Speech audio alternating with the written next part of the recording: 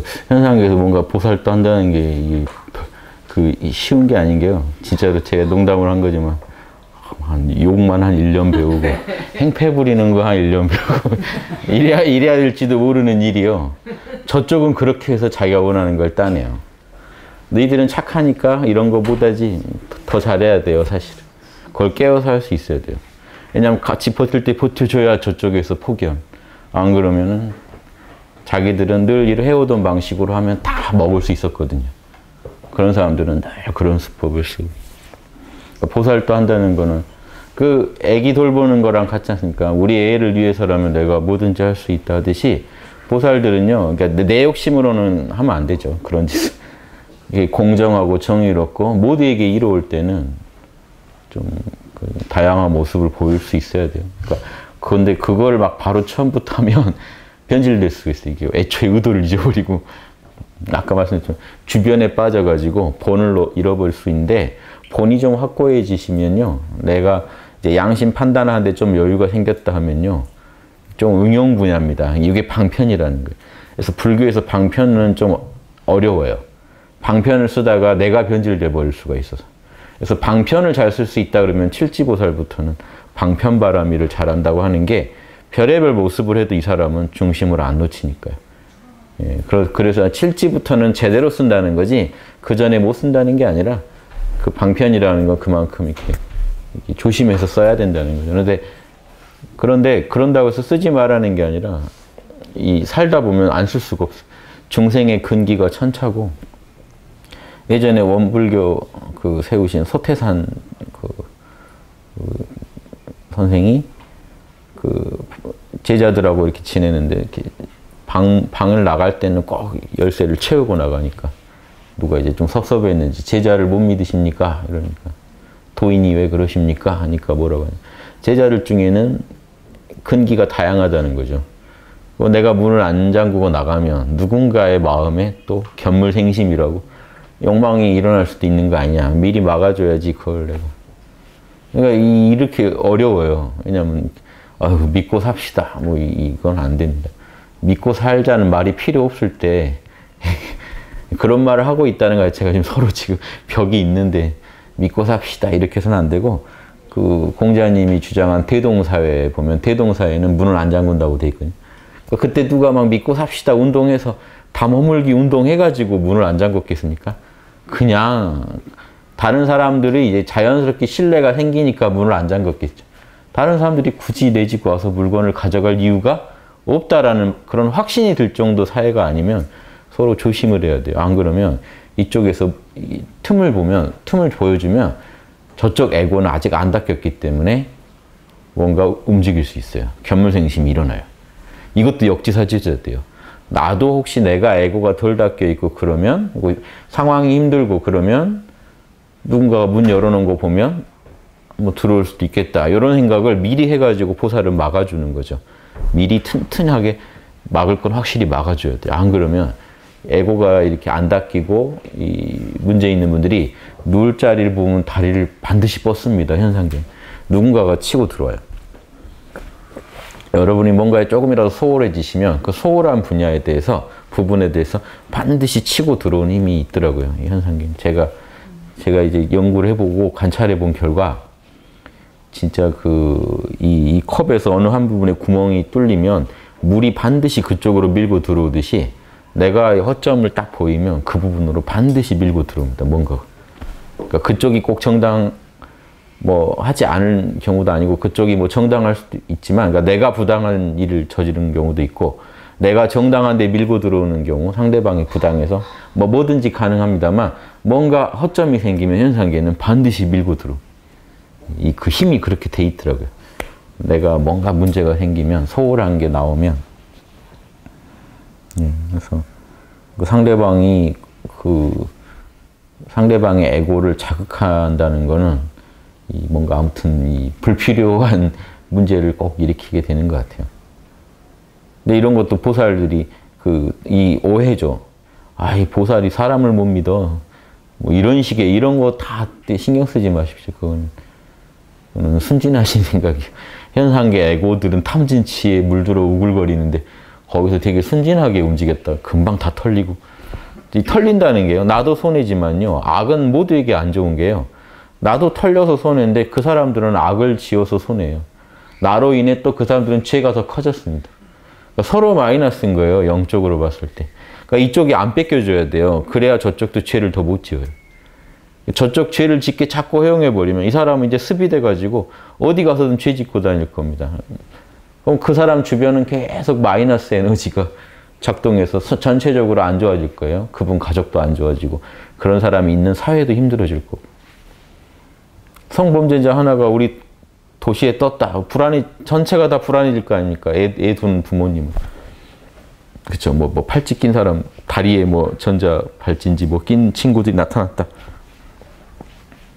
그 벌써 마이너스 카르마가 작동한 거잖아요. 뭔가 마음이 불편하고 찜찜. 이게, 이게 서로 방치하면 안 돼요. 그러니까 죄를 졌으면 빨리 잡아서요.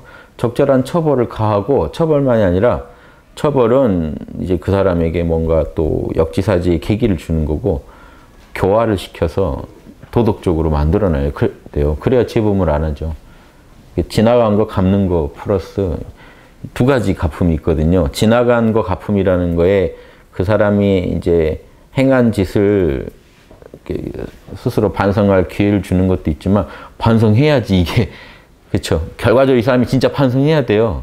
근데 반성을 안 하고 또 욕심을 더 부릴 수도 있잖아요. 그러니까 예, 지나간 거에 대한 반성의 계기, 그 가품의 시간을 주는 거 플러스 진짜로 진심으로 그 반성하게 도와줘야 됩니다. 가르, 가르쳐야 돼요.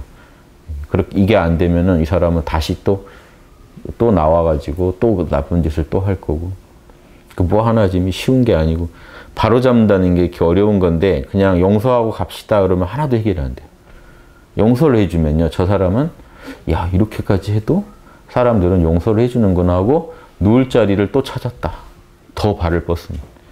언제 용서해줘야 되냐면요.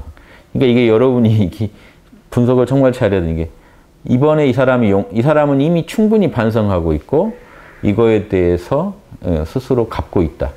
그러니까 내가 용서를 해줬을 때 이 사람은 다시 이럴 사람이 아니다라는 확신이 드시면 몰라요. 그때 용서는 의미가 있는데 그렇지 않을 때 용서는요. 용서를 해주시면 그 사람은 다른 누군가한테 가서 또 용서를 요구할 겁니다. 에고라는 게 그렇게 생겨먹은 거라 우리 에고도 다 똑같아요. 이제 그런 조건까지 안 갔을 뿐이지. 그러니까 서로 역지사지를 해줘야 돼요. 그래서 미리 막아줘야 돼요. 자녀 교육할 때도 이제, 이제 아시니까 저 나이 때라면 어떤 마음일 거다 해서 미리 미리 막아줄 건 막아줘야지, 예, 그, 그대로 두고 어떻게, 예, 해결되지는 않거든요. 그냥 용서해 준다고 넘어간다고 해결되는 문제가 아닌 것들이 많거든요. 그런 일은 확실하게 해주고, 미리 막을 거는 미리 막아버리고 그런 일 안 일어나게. 일어난 뒤에는 또 답이 안 나오니까. 근데 이제 이런 걸 이제 삶의 경험이랑 합쳐서 연구해 보시면 좋을 것 같아서 말씀드립니다. 실전 보살도라는 거는 이런 거 하나가 해결이 안 되는데요. 그 정치 경제가 안 돌아가요. 이런 기본적인 것들이 해결이 안 되면 안 돌아가요. 그러면 욕심 부린 사람들은요, 그냥 그 무리수 토서라도 내가 그 자리만 먹으면 그만이다 하고 또 움직일 거 아닙니까? 그걸 또 그러면 선량한 사람들은 또 지켜보고 있어요. 나까지 같이 악해질 수는 없다 하고 용서한다. 이미 일어난 일은 다 좋은 일일 것이다. 이렇게 둘러대고 가버리면요. 이런, 이런 가르침들은 마음에 이해하는 되죠. 하나도 현실이 바뀌지 않습니다. 잘못인지, 뭐, 뭐가 잘못인지 따져보지도 못하고 바로잡지도 못하고 이런 지혜라는 건 도움이 안 돼요. 그냥 몰라 하고 계시는 게 나아요. 차라리 그런 이상한 이상한 생각으로 이 자기 마음대로 세상을 해석하실 거면 몰라 하고 그냥 쉬시는 게 낫고요. 생각을 안 할 거면 모르겠는데 할 거면 제대로 해야죠. 할 거면 제대로 하자는 게 이제 학당의 주장이고 성인들이 다 그랬어요. 할 거면 제대로. 그러니까 고민을 안 할 거면 모르겠는데 고민할 거면 좋은 답을 내고 끝내야지. 중간에 끝내면요. 더 도움이 안 돼요. 머리만 더 헝클어져 있지 아무것도 해결되지 않은 채로 끝나버리면 안 되거든요. 그럴 바엔 차라리 몰라 하고 계시고요. 이게 실전 팁입니다. 머리가 복잡할 바에는 몰라 하고 계세요. 생각할 바에는 제대로 하시고. 예, 이거를 이 원칙만 지키시면 매사에 자명해지죠. 내려놓을 건 바로 내려놓고 바로 잡을 건 바로 잡 바로 잡는데 적당한 이안이나 주는 이런 힐링법들은요, 명상법들은 어중간하게 만들어놔요. 바로 잡아야 할 거에 대해서 몰라 하게 만들어 놓고? 예, 이러면 엉망이 돼 버립니다. 아, 생각 안 하니만 못해져요. 뭐냐면, 당장 급하다고, 나 힘들다고 내 처지, 당장 내 처지를 그 극복하기 좋은 멘트들로 자기를 최면을 걸어서 넘어가면요. 이거는 진리가 아니기 때문에 나중에 다른 문제를 일으켜요. 급하다고 급하다고 이렇게 쓴 것들이 당장 일시적으로 이렇게 진통 효과 낸 말들을 막 취해서 쓰시다 보면요. 우주 진리랑 점점 멀어져요. 이해를 못 하겠대요. 뭐 원하면 다 이루어진다든가. 예. 현실의 모든 거를 그냥 좋게만 보자든가. 아니면 현실의 모든 거를 그냥 고민하지 말고 내 마음 편하는 쪽으로만 그렇게 몰고 가보자든가. 뭐 이런 식의 이론들은요. 선악을 정확히 안 따지잖아요. 예. 그러니까 아파 죽겠는데 치료를 해야 되는데 긍정적으로 뭐 생각을 해라, 뭐 해라, 뭐 하고 그러니까 치료는 안 하고 넘어가 버리면요, 이거 심각합니다. 어디서부터가 이 치료 하나를 하려고 해도요, 보세요. 어디부터가 정상세포고 어디부터가 병든 세포인지 다 구별을 해야 되는데, 아유, 뭘 따지고 있냐? 그냥 용서하고 같이 가자. 예, 이런 식으로 얘기라면요, 이, 이 골마가는데 몰라요.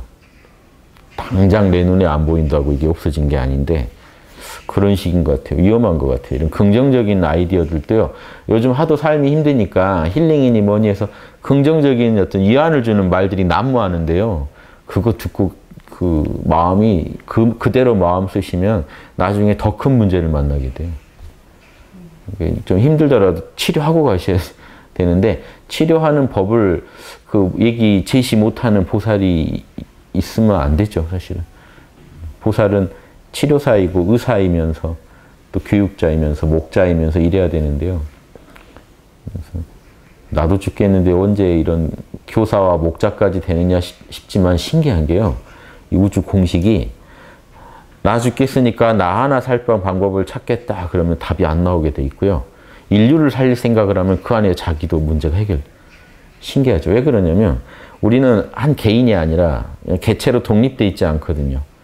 예, 우주에 존재하는 생명들이 다 이 한 뿌리에서 나온 거기 때문에 다른 생명까지도 두루 돌아보는 마음이라야 하나님 마음을 알 수가 있고 그래야 우주 공식을 알아요. 근데 나 하나 살 공리만 해버리면 우주 공식이랑은 다른 공식이죠. 우주를 희생해서라도 나 하나를 좀 살려라 하는 그 기준으로 이렇게 연구를 하기 때문에 맞지 않는 결론을 자꾸 도달합니다. 현실하고는 맞지 않는. 근데 현실을 냉정히 보면요. 내가 이 괴로운 이유도요. 여러분 괴로우신 이유도 따져보시면 그렇게 개인적이지 않아요. 이, 이런 자본주의 사회에 하필 전쟁, 전쟁을 한번 겪은 나라에 그리고 외세의 침입을 많이 겪었던 나라에 이런 기질에 뭐 그러니까 내가 선택한 게 아닌 게 너무 많아요. 태어난 뒤에 그냥 받은 게 그런 조건에서 이 시대에 태어나고 싶지 않았는데요. 사실 하필 태어났던 이 시대고 이런 상황.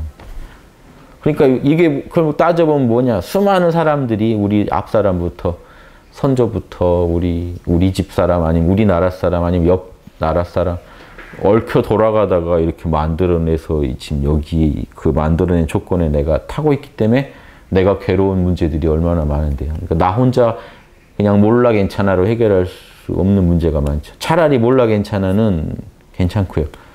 괜찮은데 차라리 자명한 맛이 있는데 여기에 이제 엉뚱한 생각을 써버리면 안 돼요. 진실을 이렇게 보게 안 하고 예, 그냥 선악을 모호하게 해서 그냥 당장 마음만 편하자는 쪽으로 이렇게 연구를 해버리시면 예, 그렇게 해서 근본적인 치료가 안 됩니다. 병이 생겨난 원인은 지금 다양하고 뿌리가 깊은데 그 치료 원인에 대해서 돌아보려고는 하지 않고 덮어둡시다라고 가는 이 힐링법들은 도움이 안 되죠. 당장에 도움이 되니까 급할 때는 그거라도 드셔도 좋은데요. 조금이라도 회복이 되시면 진짜 치료법을 찾으십시오. 그 약국 가서 진통제 달라면 그러죠. 이빨 아파 죽겠어요. 진통제 주세요. 진통제는 드리는데 꼭 병원 가십시오. 이게 뭐냐면 꼭 치료 받으십시오. 다시 또 그렇게 됩니다. 꼭 그거예요. 지금 세, 세상에 있는 힐링법들이 마 대부분이 그래요. 급하니까 일단 이거 드리는데 꼭 홍익학당 가서 제대로 제대로 치료 받으십시오. 그거 아닌가요? 그래야 해결이 되거든요. 아니 왜 도인이니 보살이니 이런 분들이요? 선악 하나 못 따지고 이거 하나 못 따지는지. 말이 안 돼요 그거는.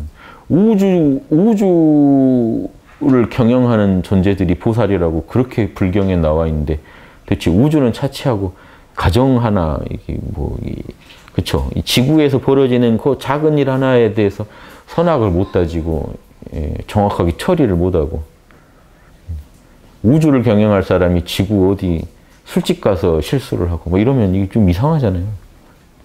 인간이니까 이해는 되지만 그 보살로선 자격이 부족하죠.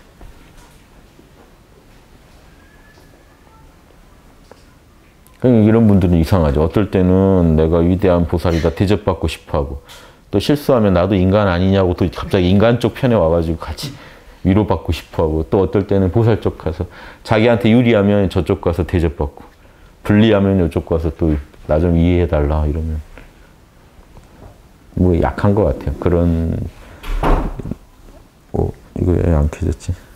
남을 이해하기에는 약한 것 같아요. 남을 이해하고 경영해주고 도와주고 하는 존재는 아닌 것 같습니다.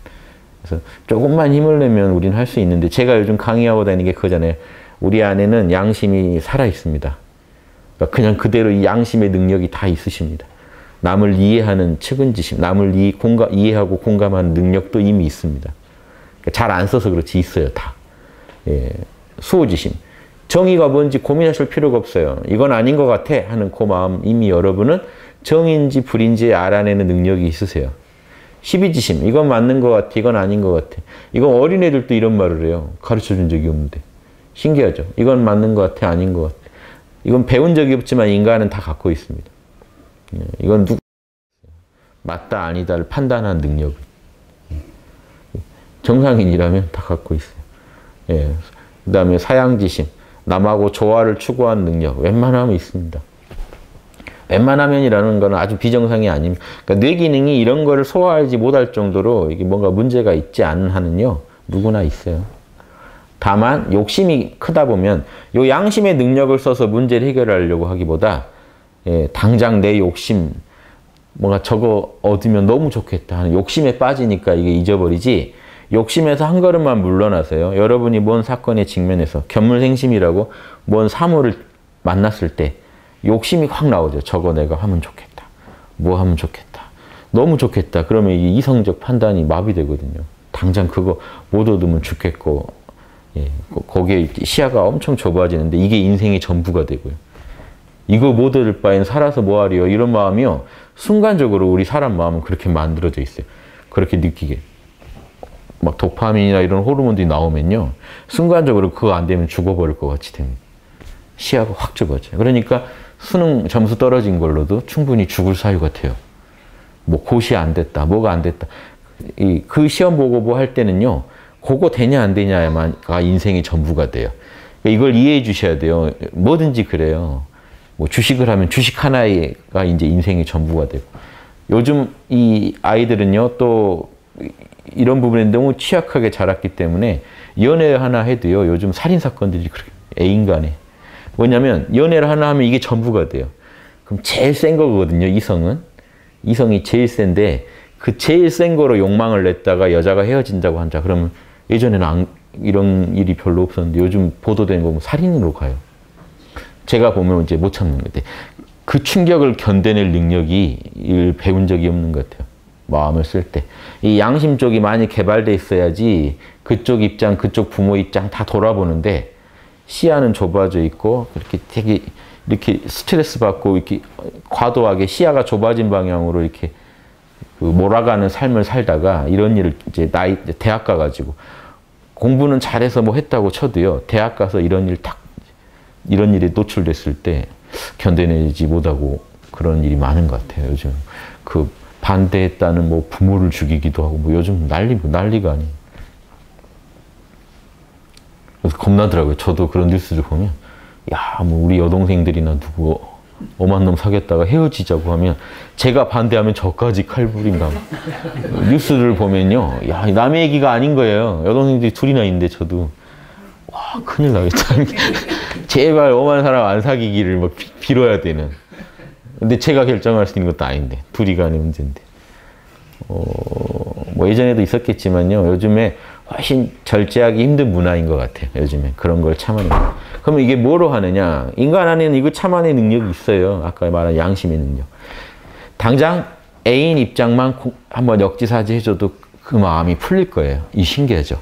그러니까 욕심으로 가면요. 어, 원하는 걸 얻어내냐 못 얻어내냐 이거밖에 없습니다. 탐진치라는 게 이거예요. 부처님이 말한 인류가 이건 2500년 전에도 똑같았다는 거죠. 이 부분에 있어서. 인류가 어리석어지는 이유, 불행해지는 이유, 고통을 겪는 이유, 탐진치 때문에 그럼 이건 뭐냐면 어리석음이 이런 양심을 잊어버리고 사는 게 어리석음이죠. 상대방 공감할 생각, 이게 옳은지 그른지 따져볼 생각 안 하고 치로 어리석기 때문에 자극이 오면 무조건 탐욕을 내요. 그러면 안 이루어지죠. 저쪽은 뜻이 다르니까. 그러면 성내, 분노를 일으키면 더 어리석어져서 더 욕심을 부리고 더 이건 더 일이 안 될 일이니까 더 분노만 커지게 악순환이 일어난다는 거예요. 무섭죠. 그러니까 지금 이 구조에서 돌아가기 시작해 버리면 이 답이 안 보입니다. 이 사람은 이 사람도 이제 우리가 이해를 해야 돼요. 치료를 해야 되니까 보살 입장에 이 사람은 지금 답이 안 보여요. 지금 그거 얻어 얻고 끝내겠다는 생각밖에 없는 거예요. 그러니까 욕구 불만이 모든 고통의 원인이다 하는 게 그 욕구가 성취되기 전에는 지금 이 사람은 평화도 없고 자유도 없는 거죠. 그런데 내가 노력해서 얻을 거는 이 사람들이 어떻게든 악착같이 얻어내는데 그러니까 욕심꾼들이 또 성공을 해요. 왜냐하면 자기가 노력해서 될 수 있는 데는 악착같이 챙기니까. 그런데 아까 같이 연애나 이런 거 내 뜻대로 되는 게 아니잖아요. 저쪽도 마음이 움직여야 되는 일에 있어서는 안 되기가 쉽겠죠. 사람 마음 얻는 건 안 될 겁니다. 이런 사람들. 그러니까 주변에 피해를 주기 시작해요. 가족한테도 피해를 줘요. 가족 마음도 못 얻어요. 내가 욕심내서 할 수 있는 거는 하겠는데 노력해서 예, 남의 마음을 이해도 못하고 다루지도 못하고 남한테 좋은 일을 할 마음도 없기 때문에 인간관계가 얽히면 이런 사람들은 아주 피곤해지고 본인도 피곤해지고 주변도 피곤하게 만든다는 거예요. 뭐 이런 탐진치 한번 빠져버리면 어떻게든 나와야 되는데 몰라 괜찮아 해가지고 욕망을 잠시만 내려놓고 그러니까 몰라를 참 잘 쓰시면요 이런 욕망이 치성해질 때 몰라를 때려서 어떻게든 여기서 빠져나오셔야 됩니다. 예, 저요 원. 큰 이, 이 욕망의 이 쓰레바퀴에서 어떻게든 어디 계시든 중심으로 빠져나오셔야 돼요. 중심으로 어디서든 빠져나올 수 있어요. 몰라만 하면 중심으로 다시 돌아와 계십니다. 내가 뭘 욕망했는지도 모르는 상태에 들어가 계시면 중심에 다시 나와 있어요. 초연해서 그 욕망에서 탐진치에서 빠져나온 상태가 돼요. 저게 저 가운데가 열반입니다. 요, 요 원의 가운데가 열반입니다. 어디서든 열반으로 나오실 수 있어요. 욕망이 시작됐건 욕망이 뭐 안 이루어져서 화를 내고 있건 예, 한참 욕망을 부리고 있건 간에 무조건 빠져나오시면 돼요. 몰라만 하시고 욕망하던 대상도 잠시 몰라 하고 욕망하던 나도 몰라 하고 그런 욕망 자체도 몰라 해버리면 주, 객, 행위를 다 몰라 해버리면 삼매입니다. 여기에 석삼자, 어두울 매자에서 삼매예요. 이 세 가지가 다 어두워졌다. 몰라졌다는 겁니다. 그러면 초연하게 나만 있거든요. 나와 남도 안 가르고 주객도 모르고 그냥 나만 있으니 내가 그대로 우주고 우주가 나고 하는 그 상태에 도달함. 이 상태로 돌아가셔야 지금 진정이 됩니다. 호르몬들이 다시 조절이 돼요. 세로토닌이 나와서요. 그런 도파민이나 이런 흥분되는 호르몬들, 불안한 아, 호르몬들, 스트레스 호르몬들을 진정시켜요. 그 상태에서 이제 양심을, 양심, 내가 갖고 있던 양심 카드들을 찾아보는 겁니다.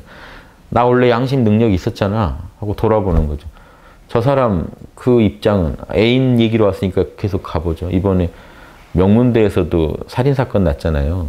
그 헤어지자고 해서 죽였잖아요. 음.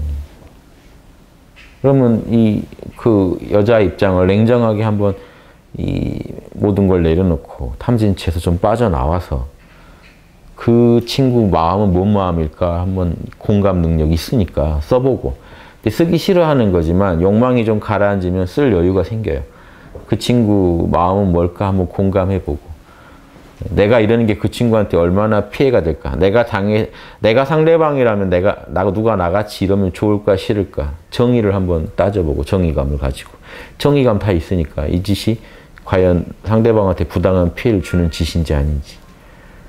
그래서 이게 무례한 건지 아닌지, 상대방과 나가, 내가 이, 이 조화로운 관계를 유지하려면 이렇게 해서 되는지 안 되는지, 그리고 이런 판단들이, 내가 먹은 생각들이 진짜 정당한지, 남들한테도 누구한테도 얘기할 수 있는 그런 정당한 생각이었는지 옳은 거였는지 따져봐야죠. 그래서 뭔가 그런 자신이 안 들면 다시 명상하면서 좋은 답이 날 때까지 기다려주면 되는데 여기에 정의 쌍수인데 선정과 명상과 지혜가 같이 가기만 하면 탐진치는 무조건 벗어나죠. 명상이요 탐욕과 분노에서 여러분을 건져주고요. 올바른 생각이 어리석음에서 건져져요. 그래서 정의 쌍수가 가면 일단 육바라밀의 기본이 깔립니다. 여기까지만 해도 우리가 1급 보살이라고 하는 게 일단은 아니어도 이미 1급이다 하는 게 급한 불은 끄거든요. 엄한 짓 할, 엄한 짓을 할 수 있는 상태는 이미 아닌 거죠. 요 정도에서 이제 좋은 결론, 육바라밀을 따져서 좋은 결론까지 내면 이제 일지보살, 일단보살이 보이는 거죠. 이 정도로 탐진치에서 빠져나오셔야 돼요. 그러니까 지금 전 국민이 다 저는 한 일단 됐으면 제일 좋겠습니다만은 마음을 비워서 한 1급만 되게 하시자라고 했는데 1급도 참 힘들구나 해서 욕심 이제 마음을 많이 비운 진짜 국민들한테 저희가 이렇게라 이렇게라도 삽시다 하는 운동을 일으키고 싶은 건 그냥 양심 노트예요. 즉 중요한 일이 있을 때 명상에서 마음 좀 몰라 해가지고 가라앉히고 그러니까 몰라 해서 마음을 가라앉히는 기술만이라 뭐 참나가 늘 흐르고 이런 거는 얘기도 마, 말고요. 일반인들한테는 명상에서 마음이 좀 편해질 수 있는가 시야가 좁아져 있고 무지와 욕심에 꽉 차 있던 내가 명상을 하면 좀 편해지는지 마음이 그거 기술 하나랑요 몰라랑 플러스 몰라 한 뒤에 좀 마음이 편해진 뒤에 양심 분석을 할 수 있는가? 그러니까 양심 분석을 기본적으로 할 수 있나? 인의 이거는요 실제로 초등학생한테 시켰던 일도 했어요. 초등학교도 초등학생도 했는데 이거 못한다는 건 말이 안 돼요. 원래 인간이 타고난 능력이기 때문에 초등학교도 해요. 유치원생도 시키니까 했어요.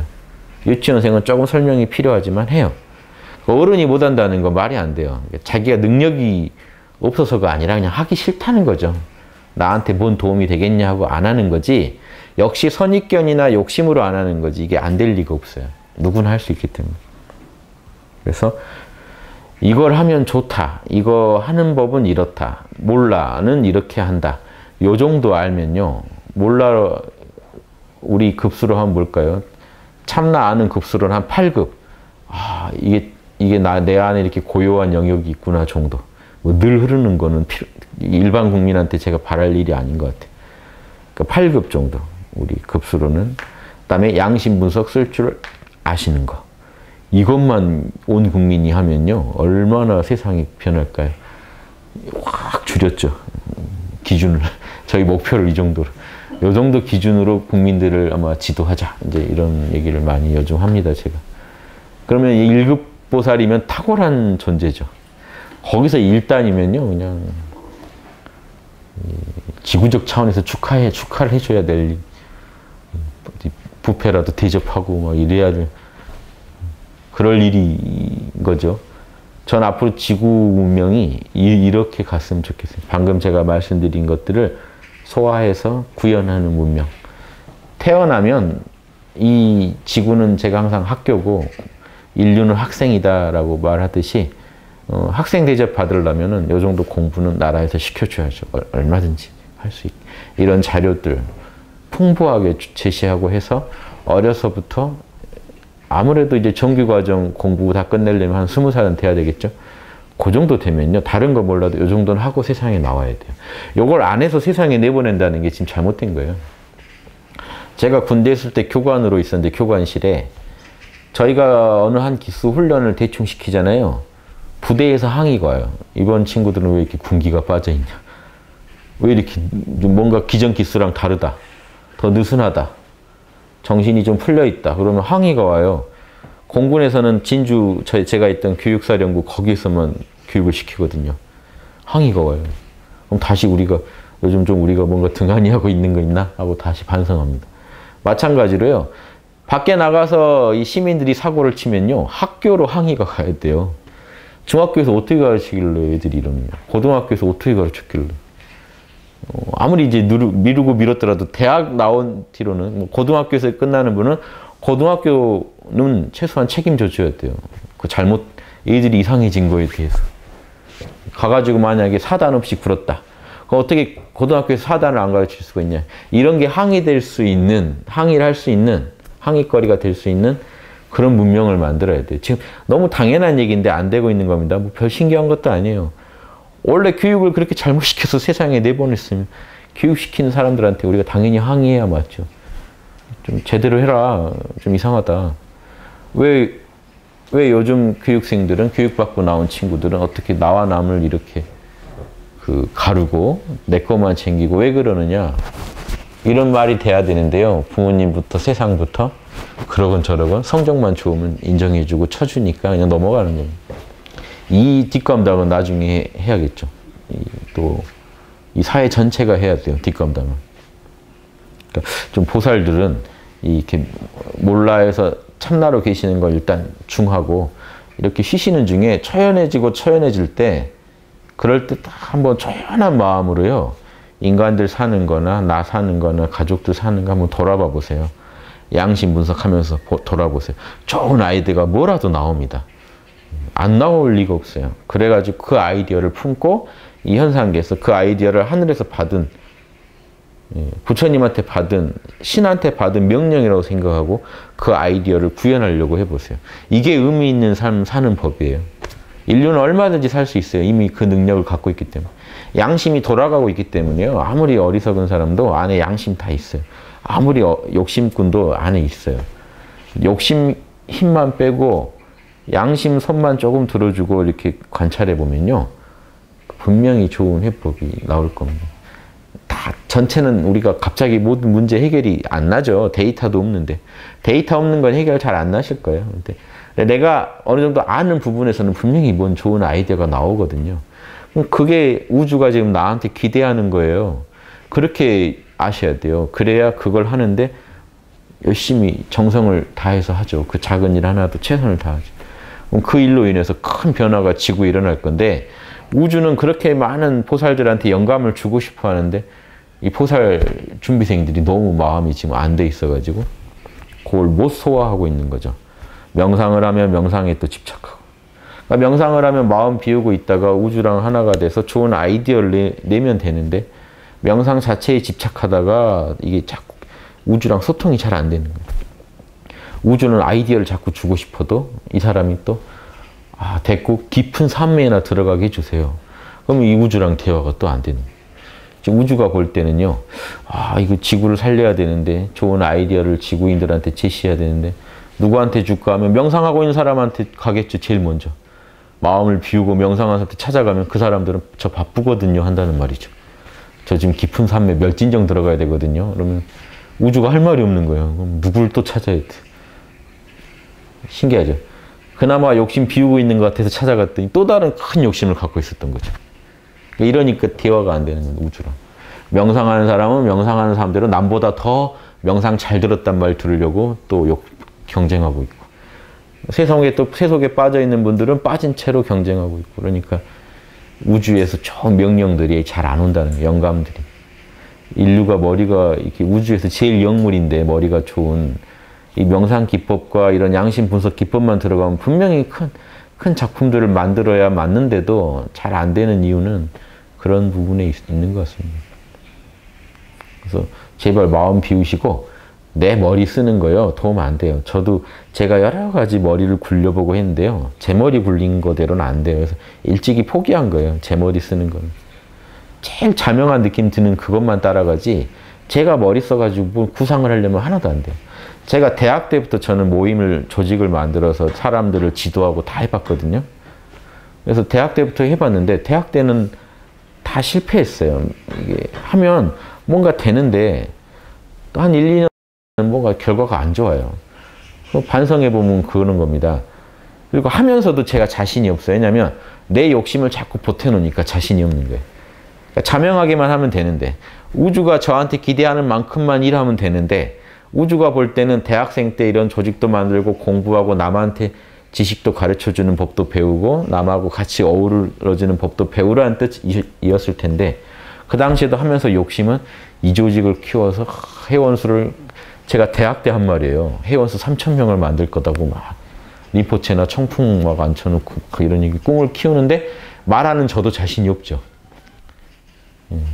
그러니까는 뭔가 제 욕심을 더 앞세워 버리면요. 내가 하는 일에 집중하기보다는 자꾸 되냐 안 되냐에 더 관심을 갖게 되고 또 아내가 공허해요. 그런 말 하고 나면.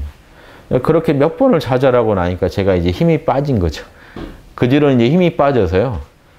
아버지한테 다 맡깁니다. 자명하면 가고 안 하면 안 가겠습니다. 하고 한 게 이제 홍익학당이에요. 그 전에 여러 번 또 하고 홍익학당 세우고도 또 진행하다 보면 제 뜻대로 빨리 안 되니까 답답해서 또 막 하는데 이 보면 은근히 변하고 있고 되고 있거든요. 그런데 그런 걸 못 기다리고 내 욕, 욕심에 앞, 이 뭔가 좀 잘 됐으면 하는 마음이 앞서다 보면요. 이 오판하게 되고 자꾸 욕구 불만에 빠지더라고요. 이건 공식이에요. 아무튼 그래서 인간이니까 없을 수 없지만 빨리빨리 몰라 괜찮아 하실 수 있는 게 답인 것. 내가 좀 욕심에 빠진 것 같으면 또 다시 몰라 괜찮아 해서 다시 양심하고 대화 나눠보는 이것만 하면은 아마 인류가 살지 않을까 한다. 저도 지금도 또 욕심이 늘 앞서요. 뭔 일 하면 약당 운행에도 욕심이 인간이니까 똑같이 또 올라옵니다. 그런데 지금은 이제 여유로운 게 욕심 올라와도 그냥 몰라 해버리고 가거든요. 안 올라온다는 게 아니라 욕심은 계속 올라옵니다. 이건 아마 인간의 에고의 특성일 거예요. 끝없이 에고만의 계산이 또 따로 있어요. 아무리 여러분이 양심과 하나가 돼도요, 에고는 계산을 또 딴 주머니를 찹니다. 다른 계산을 또 해요. 그런데 문제가 안 돼요. 양심이 정밀해지고 양심이 잘 이해되면요, 욕심의 그런 얘기도 그냥 웃고 넘어갈 얘기밖에 안 되고, 공부가 얕으면, 양심이 잘 이해가 안 되는 분들은 그, 그 계산이 제일 중하고. 그러니까 욕심 없애려고 하지 마시고요. 문제는 지금 욕심이 문제가 아니에요. 양심을 잘 못 쓰고 계시는 게 문제지, 욕심은 제 기능을 다 하고 있는 거예요, 실제로. 여러분 마음에서 욕심은 제 기능을 하고 있어요. 저거 나한테 유리해, 불리해, 저거 얻어야 돼, 못 얻으면 큰일 나. 이거 인간이면 당연히 갖춰야 할 기능들입니다, 이거는. 이건 잘 돌아가고 있다는 얘기인데, 양심이 안 돌아가고 있는 게 문제예요. 그러니까 동양 철학의 제일 그 핵심 가르침인 서경의 그, 요 순임금이 우임금한테 가르쳐 준 그 양심 경영의 신법이, 양심 철학의 제일 신법이 뭐냐면, 양심은 욕심은 위태롭다 그러지 악이라고는 안 해요. 위태롭다고 하는 게 욕심만 따라가다 큰일 나니까요. 그런데 욕심은 위태롭고 양심은 미약하다라고 하는데 그 다음 말이 주, 답인 게 오직 정밀하고 오직 한결같기만 하면 요 말이요. 선악을 정밀하게 따져서 그렇죠. 선 양심 분석을 한결같이 밀고 나가면이에요. 양심 분석을 정밀하게 따져서 선악을 잘 가르면서 양심의 뜻에 맞는 거 아닌 거를 잘 정밀하게 연구하면서 한결같이 밀고 나가면 그러니까 욕심에 대한 얘기는 없죠. 양심만 잘 알면 윤직궐중 중심을 딱 잡을 수 있다. 왜냐? 욕심은 이미 활발하게 움직이고 있기 때문에 욕심하고 싸울 일이 아니기 때문에 양심만 강력하게 드러나면 욕심은 양심 말 듣기 때문에 양심을 몰라서 문제가 커지고 양심의 능력을 제대로 못 써서 우리가 못 산다 이 얘기입니다. 욕심은 잘 쓰고 계신데 욕심 기능은 양심 기능을 잘 못 쓰고 계셔서 일어난 일이지 욕심 기능을 뭐 퇴화시킨다든가 없애버리겠다는 게 아니에요. 이런 부분에 뭐 여기까지 한번 말씀드릴게요. 뭐 이런 내용들 한번 연구해 보시고 그러니까 인간의 에고는 서로 믿으면 안 돼요. 가족도 믿으면 안 돼요. 에고는 좀 이상해요. 그러니까 그 가족이 못 돼서가 아니라 에고라는 거의 기능이 이기적이고 탐욕적이에요. 그러니까 자기 개인만 주로 보다 보니까 자기 개인에게 조금이라도 침해가 오면 분노하게 돼 있어요. 그러니까 이해해 주세요. 가족들이 그렇게 나와도. 음, 저게, 저게 에고지. 예. 그런데 내 가족이 양심을 안 쓰는구만. 이게 안타까운 거예요.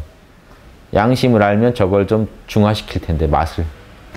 예, 욕심이 이렇게 나올 때 한 번 더 내 입장이나 가, 다른 가족 입장 생각했다면 저 말이 안 나올 텐데. 즉, 욕심 기능이 문제가 있어서가 아니라 양심 기능이 지금 제대로 움직이고 있지 않기 때문에 상대방이 욕심대로만 가니까 이제 힘들어지는 거죠. 서로 힘들어지는.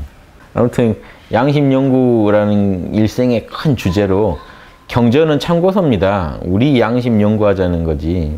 그 남의 양심 연구하면 뭐합니까? 그래서 경전은 참고서니까 불경이든 뭐든 잘 보시면서 여러분 양심에 부합되지 않는 건 일단은 받아들이지 마시고요. 가설로만 믿으시고 여러분 양심이 왜 어떻게 반응하는지 뭐라고 하는지 먼저 들어보세요. 그래서 내 양심의 답과 양심의 달인들이, 달인들이 내린 답을 비교해 보시면서 연구해야 재밌습니다. 그래야지 무조건 그 거기다 맞춰도 안 되고요. 내 양심이 뭐라고 하는지를 이해하는 게 되게 중요해요. 왜냐하면 내 양심이 성장해야 되기 때문에 내 양심 성장은 전혀 안 보고 경전을 외워서 그대로 그냥 하려는 분들은요. 본인 양심 역량이 얼마인지도 모르기 때문에 못 따라갑니다. 실천이 안 되고 왜곡돼서 나와요. 그러니까 그런 짓은 필요가 없어요. 그래서 경전 읽고 허심탄회하게 근데 나는 솔직히 내 양심에서는 어, 이런 거 힘들다고 한다. 내 양심에서는 이해가 잘 안 된다. 난 이런 판단 못 하겠다. 괜찮아요. 그걸 가지고 연구해 보는 거예요. 나는 어떤 어떤 양, 내 양심에서는 어떤 분석이 되는데 성인들은 이렇게 분석했는데 이제 뭐가 다르고 같고 이러면서 이제 연구하시는 중에 그 일방적으로 성인을 따라가시면 안 되고 성인들이 자명하다고 믿고 있던 그 진리들을 나도 이제 하나씩 알아가는 거예요. 공식들. 나도 알면 그렇게 비슷하게 변해갑니다.